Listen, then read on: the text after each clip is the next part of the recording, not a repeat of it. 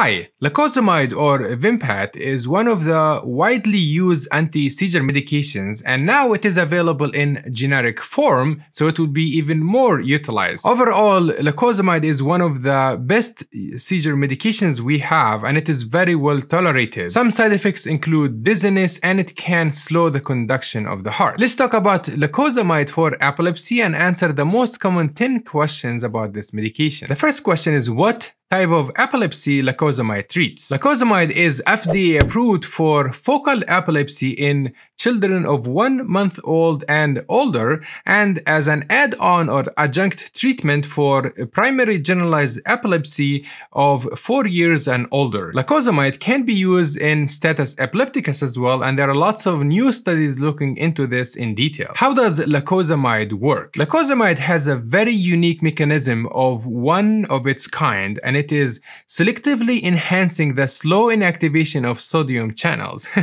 That's a kind of complicated word. So what it does, it will the sodium channels will propagate the action, the electricity in the brain, and it will keep it inactive, which leads to stabilization of the neuron and decrease the repeated firing eh, during the seizure. Interestingly, lacosamide binds to the protein CRMP2, which has a role in epileptogenesis, and hopefully that we find that lacosamide can change the course of epilepsy like no other medications that is available now. How to dose lacosamide? Luckily, lacosamide is available in pill form, in liquid, and in IV form, which is gives us a great flexibility in the use. We start lacosamide with 50 milligram twice a day for one week, and then we can increase it to 100 milligram twice a day afterwards and adjust uh, based on the tolerability and the seizure control. In children, we start with 1 milligram per kilogram per dose twice a day and we can increase after two weeks to by 0.5 to 1 milligram per kilogram per dose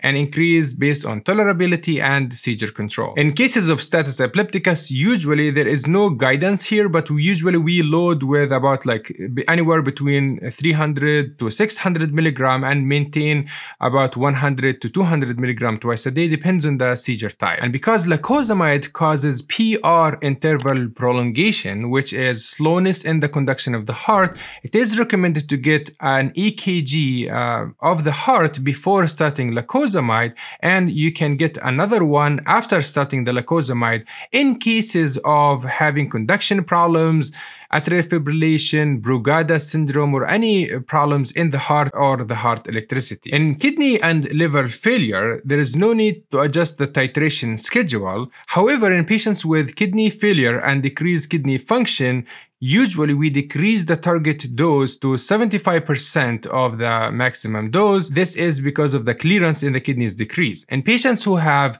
dialysis, we know that lacosamide gets filtered by 50% in the dialysis four hour session. So it is recommended to supplement 50% of the dose after each dialysis session, which means if somebody is taking 100 twice a day, we give 50 milligram after each dialysis sessions, not before. Please let me know down in the comment if you are doing well on lacosamide. What should I do if lacosamide is not working for me? There are many reasons why lacosamide is not working for you. The first thing is that if you are giving up too early or on a too low of a dose. So some people will just stop taking the medication after one or two weeks. We should give it enough time, about three to six months, and we should give it a high enough dose to judge if it is enough for you. And if you are on high dose and you spend long time on this medication and it's still not working and you tried more than one medication, you might be having drug resistant epilepsy, which happens in 25% of the time. And this has its own treatment that we talked about in the drug resistant epilepsy video. What are the side effects of lacosamide? Lacosamide in general is very well tolerated. However, there are multiple side effects that are expected to happen, especially at the beginning, including dizziness, tiredness, imbalance, ataxia, nausea, and incoordination. And most of those side effects uh, are expected to get better with time as your body is getting used to the medication. If lacosamide is combined with another sodium channel blocker such as carbamazepine or phenytoin, the side effects of lacosamide can be combined and worse. Like many of the anti-seizure medications, there is a label warning for suicidal ideation with lacosamide. And as we mentioned before, it can cause slowing in the conduction of the heart and cause PR interval prolongation.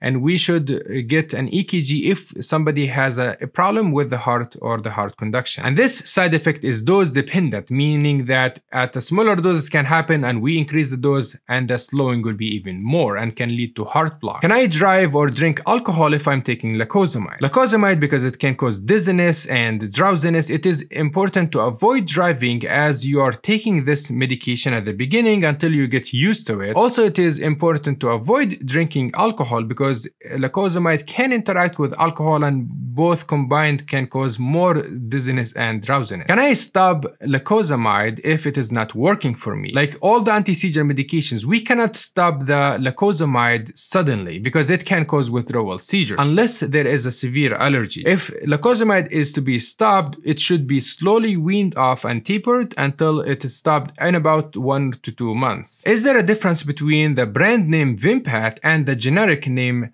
lacosamide. Vimpat was very expensive and lots of patients had issues with copays and stopped taking the medication because of those high copays. And now we have the generic lacosamide. Usually the switch between Vimpat and lacosamide is smooth and seamless and it is recommended to monitor the blood levels on Vimpat at the beginning, get blood levels, and then once we switch to lacosamide generic, we can measure the blood level again to make sure that there is no change and it should be fine afterwards. Is lacosamide safe in pregnancy and breastfeeding? At this point, we do not have lots of data for pregnancy uh, on lacosamide because it's a relatively a new medication. However, the available data is reassuring that there is no major malformations or issues with pregnancy. If you get pregnant while taking Vimpat, please enroll yourself in the multiple uh, pregnancy registries in your area and that will be a great addition to the science and our understanding of this medication. Breastfeeding is safe with lacosamide